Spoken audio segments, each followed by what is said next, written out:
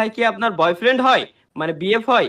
আপনার ইউটিউব এবং ফেসবুক মিলে টোটাল আর্নিং কত monthly hey guys what's up it's me your favourite Jannat gaming here so guys আজকে তোমাদের জন্য নিয়ে চলেছি নতুন আরেকটা ভিডিও এন্ড এই ভিডিওটা হচ্ছে মোস্ট ডিমান্ডিং ভিডিও এভার কিউনি ভিডিও কিউনি ভিডিও কিউনি ভিডিও ওয়ান মিলিয়ন হয়ে গেছে স্টিল কোনো কিউনি ভিডিও তোমরা পাও নাই। সো এট লাস্ট আমরা আমাদের কিউনি ভিডিওটা নিয়ে চলে আসছি ওকে তোমাদের আছে আমাদের গেমিং উইথ তালহা ভাইয়া যে আমাদেরকে তোমাদের করা কোশ্চেনগুলো করবে।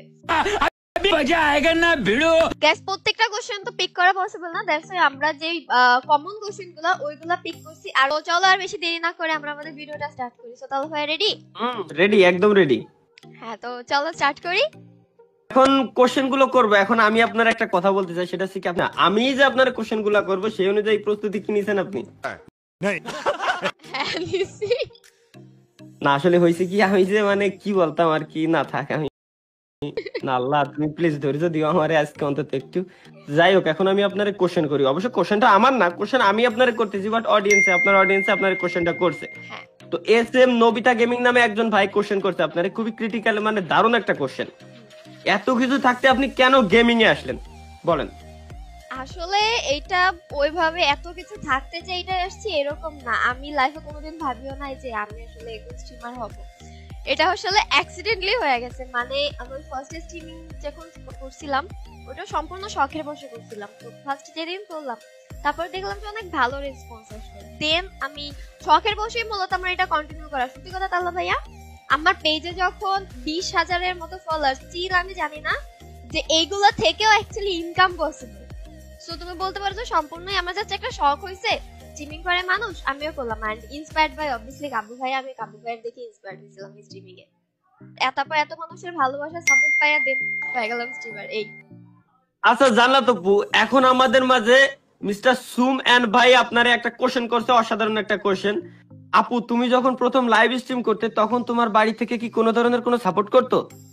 একদম প্রথম প্রথম যখন করতাম, তখন হচ্ছে আমার বাসার কেউ এইসব যে লাইভ স্ট্রিমিং সম্পর্কে কোনো আইডিয়াই ছিল না। তো সাপোর্ট তো আমি একটু সাইডেই রাখলাম।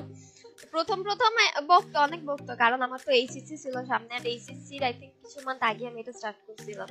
তো ফার্স্টের দিকে ওরকম সাপোর্ট করতো না। দেন যখন ই হয়ে গেল না লকডাউনটা পড়ে গেল আমার এইচএসসি এক্সাম করল না। তারপর তো আর কি কাজ সারাদিন গেম মানে তারপর তখন বকতো না তখন বেশি বকতো না।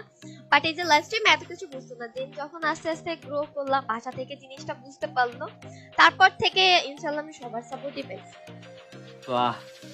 হ্যাঁ পরিবার থেকে যখন বুঝতে পারে তখন আসলে সাপোর্টটা হ্যাঁ। দেয়। এটা সবারই করা উচিত। মানে এইখানে আমার একটা কথা আছে কি যারা নতুন ইনফ্লুয়েন্সার বা যারা নতুন মানে তৈরি হচ্ছে এক কথায় শুরু করতে যাচ্ছে তাদের বিষয়ে আপনি এক কথায় বলতে চাচ্ছেন যে তারাও প্রথম প্রথম যাতে বাসায় বোঝানোর চেষ্টা করে যে আম্মা আব্বা এটা করলে এরকম হয়। দেখো তুমি জান্নাতে পুকে দেখো তাকেও কিন্তু প্রথমে ফ্যামিলি থেকে সাপোর্ট করতো না। বাট সে একটা জিনিস করতে পারছে এখন তার ফ্যামিলি থেকে ফুল সাপোর্ট এটাই তাই তো? হ্যাঁ একটা কোশ্চেনের দিকে যাই তো এই কোশ্চেনটা আমাদের করছে পিএসটি গেমিং ওয়াইটি নামে একটা ভাই।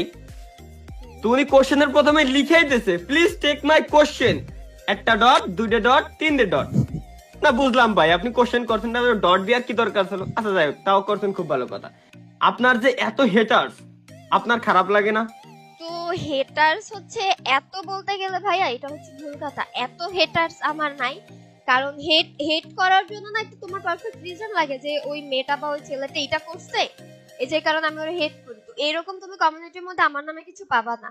আর সেকেন্ড যে হেটার্স এর জিনিসটা বলতিস ওটা আসলে হেট না ওটা হচ্ছে একটা সেক্সুয়াল হ্যারাসমেন্ট যেটা আমাদের বাংলাদেশে নট অনলি আমি স্টিল প্রত্যেকটা মেয়ের ফেস করতে হয় প্রত্যেকটা মেয়ের বাংলাদেশে। ওটা হয় আমার সাথে ওটা আমার সাথে একটু বেশি হয় ওটা ওটা কেন জানো? কারণ বাংলাদেশের মানুষ স্টিল মানে একসেপ্ট করতে পারতেছে না যে একজন মেয়ে ফেস ক্যাম দিয়ে স্ট্রিমিং করতে পারে। এটা। আর ওইগুলো আসলে হেট হিসেবে আমি নিই না ওগুলো আমি ডিরেক্ট ব্যান করে দিয়ে গেছি। এগুলো হেটার্স না আসলে। এদের মেয়ে দেখলেই সমস্যা হয়। এরা স্টিল ব্যাকডেটেড উনিশশো একাত্তর সালে পড়ে আছে।